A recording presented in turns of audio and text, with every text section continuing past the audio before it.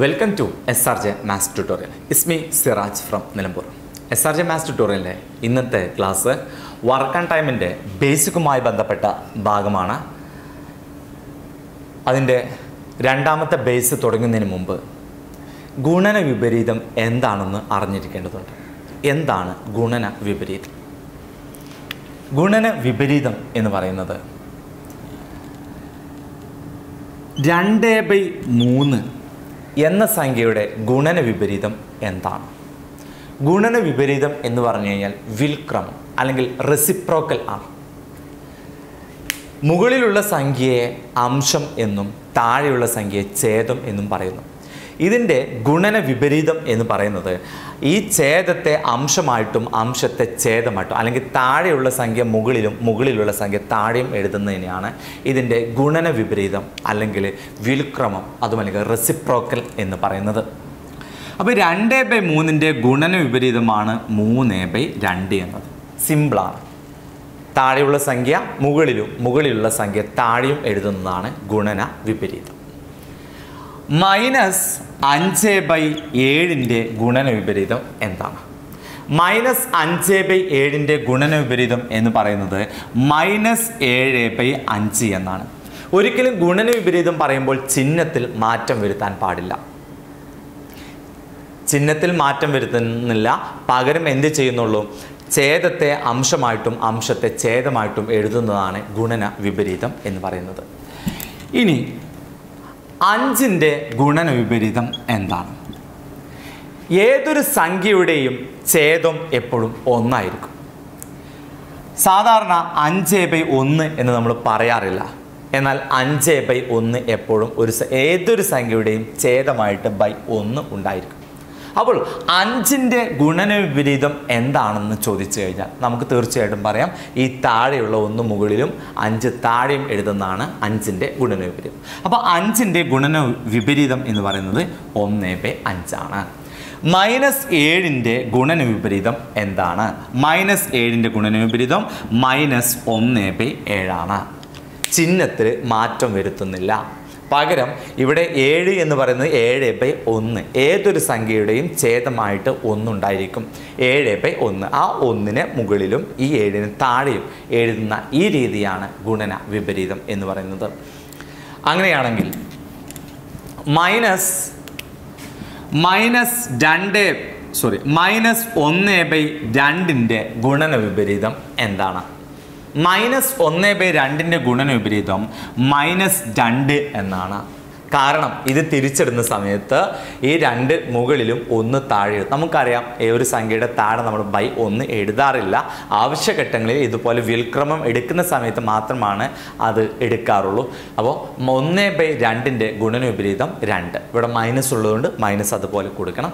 Minus ഒന്ന് by രണ്ടിന്റെ ഗുണന വിപരീതമാണ് മൈനസ് രണ്ട്. ഒന്ന് ബൈ ഏഴിന്റെ ഗുണന വിപരീതമാണ് ഏഴ്. ഒന്ന് ബൈ എട്ടിന്റെ ഗുണന വിപരീതമാണ് എട്ട്. ഓക്കെ ഇനി പൂജ്യത്തിന്റെ ഗുണന വിപരീതം എന്താണ് എന്നതാണ് അടുത്ത ക്വസ്റ്റ്യൻ പൂജ്യത്തിന്റെ ഗുണന വിപരീതം എന്ത്? പി എസ് സി ഇങ്ങനെ ഒരു ചോദ്യമാണ് ചോദിക്കുന്നതെങ്കിൽ പൂജ്യത്തിന്റെ ഗുണന വിപരീതം എന്ത് എന്ന് ചോദിച്ചു കഴിഞ്ഞാൽ ഓപ്ഷനിൽ ഒരു പൂജ്യം ഒരു ഉണ്ടായിരിക്കും. ഓക്കെ നോക്കാം. പൂജ്യത്തിന്റെ ഗുണന വിപരീതം എന്താണെന്ന് നോക്കാം. അതിനു മുമ്പ് പൂജ്യം ബൈ അഞ്ച് എന്ന് പറഞ്ഞാൽ ഉത്തരം എത്രയാണ്? പൂജ്യം ബൈ അഞ്ച് എന്ന് പറഞ്ഞാൽ ഉത്തരം പൂജ്യമാണ്. പൂജ്യം ബൈ ഏഴ് എന്ന് പറഞ്ഞാൽ ആൻസർ പൂജ്യമാണ്. പൂജ്യം ബൈ ഒമ്പത് എന്ന് പറഞ്ഞാൽ ഉത്തരം പൂജ്യമാണ്. എന്നാൽ ഇതേ കേസ് നമുക്ക് ഇങ്ങനെ ചെയ്തു നോക്കിയാലോ? അഞ്ച് ബൈ പൂജ്യം എന്ന് പറഞ്ഞാൽ എന്താണ്? ചെയ്യാൻ സാധ്യമല്ല. ഒരു സംഖ്യയും പൂജ്യം കൊണ്ട് ഹരിക്കാൻ സാധ്യമല്ല. ഒരു സംഖ്യയും പൂജ്യം കൊണ്ട് ഹരിക്കാൻ പറ്റുന്നതല്ല അല്ലേ? അപ്പോൾ ഏഴ് ബൈ പൂജ്യം എന്ന് പറഞ്ഞു കഴിഞ്ഞാൽ ഇമ്പോസിബിൾ ആണ്. ഇങ്ങനെ ഹരിക്കാൻ സാധ്യമല്ല. ഒരു സംഖ്യയും പൂജ്യം കൊണ്ട് ഹരിക്കണം ഹരണം സാധ്യമല്ല. നോക്കാം. അങ്ങനെയാണെങ്കിൽ പൂജ്യത്തിന്റെ ഗുണന വിപരീതം എന്തായിരിക്കും? പൂജ്യത്തിന്റെ ഗുണന വിപരീതം എന്ന് പറയുന്നത് പൂജ്യത്തിന്റെ ഗുണന വിപരീതം നമ്മൾ സാധാരണ എഴുതുമ്പോൾ ഒന്ന് ബൈ പൂജ്യം. ഇതിന്റെ താഴെ ഒന്നുണ്ടല്ലോ. ഒന്ന് ബൈ പൂജ്യം. ഒരിക്കലും ഒരു സംഖ്യയും പൂജ്യം കൊണ്ട് ഹരിക്കാൻ സാധ്യമല്ല. അപ്പോൾ പൂജ്യത്തിന്റെ ഗുണന വിപരീതം എന്താണ്? പൂജ്യത്തിന്റെ ഗുണവിപരീതം ഒരിക്കലും എന്തല്ല പൂജ്യമല്ല. പൂജ്യത്തിന്റെ ഗുണനവിപരീതം എന്തെന്ന് ചോദിച്ചാൽ നമുക്ക് ആൻസർ പറയേണ്ടത് പൂജ്യത്തിന് ഗുണനവിപരീതം ഇല്ല എന്നാണ്. ഓക്കെ അപ്പോൾ ഈ ഗുണന വിപരീതം നമ്മൾ പറയുന്നത് വർക്ക് ആൻഡ് ടൈമിന്റെ ബേസ് രണ്ട് ചെയ്യണമെങ്കിൽ എന്താണ് ഗുണന വിപരീതം എന്ന് അറിയേണ്ടതുണ്ട്. ഓക്കെ ഗുണനവിപരീതം പറഞ്ഞ സ്ഥിതിക്ക് എന്താണ് സങ്കലന വിപരീതം എന്നുകൂടി നോക്കാം. സങ്കലന വിപരീതം. സങ്കലന വിപരീതം എന്ന് പറയുന്നത്. ഇപ്പോൾ രണ്ടിന്റെ സങ്കലന വിപരീതം മൈനസ് രണ്ടാണ് സങ്കലന വിപരീതം എന്ന് പറയുന്നത് ഇതിന്റെ സൈന് മാറ്റി എഴുതുന്നതാണ് സങ്കലന വിപരീതം. ഓക്കെ അപ്പോൾ മൈനസ് അഞ്ചിന്റെ സങ്കലന സങ്കലന വിപരീതമാണ് പ്ലസ് അഞ്ച്. മൈനസ് ഒന്ന് ബൈ ഏഴിന്റെ സങ്കലന വിപരീതം പ്ലസ് ഒന്ന് ബൈ ഏഴ്. അഞ്ച് അഞ്ച് ബൈ മൂന്നിന്റെ സങ്കലന വിപരീതം മൈനസ് അഞ്ച് ബൈ മൂന്ന്. സങ്കലന വിപരീതം എന്ന് പറയുമ്പോൾ ചിഹ്നത്തിൽ മാത്രമേ മാറ്റമുള്ളൂ. എന്നാൽ ഗുണന വിപരീതം എന്ന് പറയുന്നത് താഴെയുള്ള സംഖ്യ മുകളിലും മുകളിലുള്ള സംഖ്യ താഴെയും എഴുതുന്നതാണ് ഗുണന വിപരീതം എന്ന് പറയുന്നത്. ഓക്കെ. അപ്പോൾ പൂജ്യത്തിന്റെ സങ്കലന വിപരീതം എന്ത്?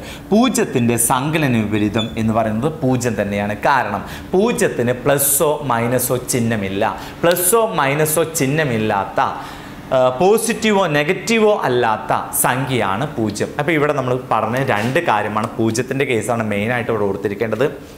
പൂജ്യത്തിന്റെ സങ്കലന വിപരീതം എത്രയാണെന്ന് ചോദിച്ചു കഴിഞ്ഞാൽ ഉത്തരം പൂജ്യം. എന്നാൽ പൂജ്യത്തിന്റെ ഗുണന വിപരീതമാണ് ചോദിച്ചതെങ്കിൽ ഉത്തരം പൂജ്യമല്ല. പൂജ്യത്തിന് ഗുണന വിപരീതം ഇല്ല എന്നാണ് അർത്ഥം. പൂജ്യത്തിന് റെസിപ്രോക്കൽ ഇല്ല എന്ന് വേണം പറയാൻ. എന്നാൽ പൂജ്യത്തിന്റെ സങ്കലന വിപരീതമാണ് ചോദിക്കുന്നതെങ്കിൽ ആൻസർ പൂജ്യവുമാണ്. ഓക്കെ അപ്പോൾ ഇന്ന് നമ്മൾ പറഞ്ഞത് സങ്കലന വിപരീതവും ഗുണന വിപരീതവുമാണ്. ഇനി നമുക്ക് വർക്ക് ആൻഡ് ടൈമിന്റെ രണ്ടാമത്തെ ബേസിക്കിലേക്ക് പോകാം. രണ്ടാമത്തെ ബേസിക്കിലേക്ക് പോകണമെങ്കിൽ അത്യാവശ്യമായിട്ട് വേണ്ടതാണ് ഈ ഗുണന വിപരീതം അല്ലെങ്കിൽ റെസിപ്രോക്കൽ അടുത്ത ക്ലാസ് നമുക്ക് വർക്ക് ആൻഡ് ടൈമിന്റെ ബേസിക് ടു നമുക്ക് നോക്കാം. ഓക്കെ എല്ലാവർക്കും നല്ലൊരു ദിനം ആശംസിച്ചുകൊണ്ട് ഇന്നത്തേക്ക് ഇവിടെ പറയട്ടെ. Thank you very much